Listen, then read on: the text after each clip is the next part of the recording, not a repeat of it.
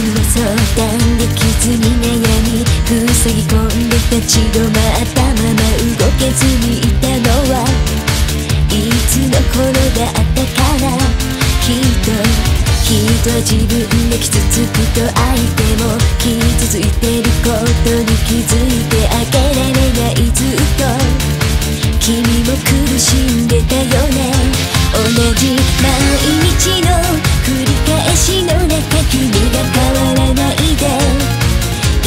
くれるから私もそのままの自分受け入れられるもう君を一人にさせ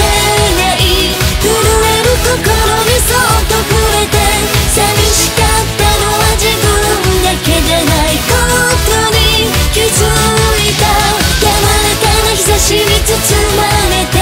長すぎた冬の終わりで孤独を知った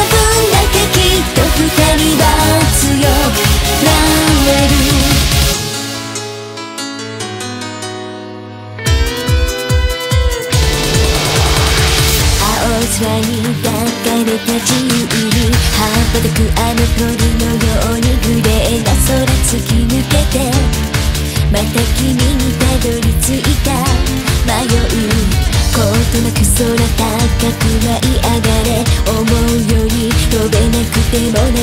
て困るものなどそんなに多くないから時に近づきすぎて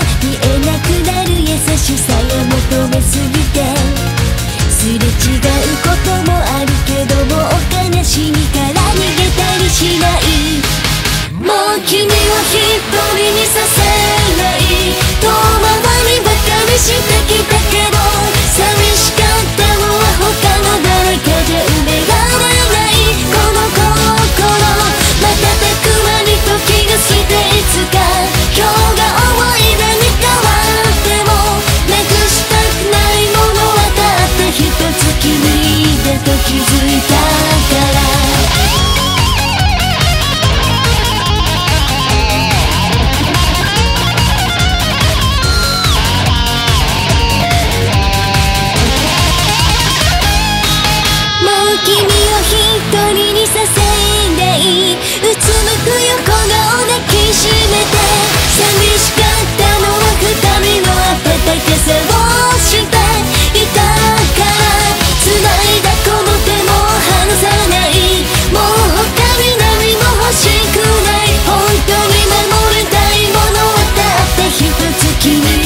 と気づいたから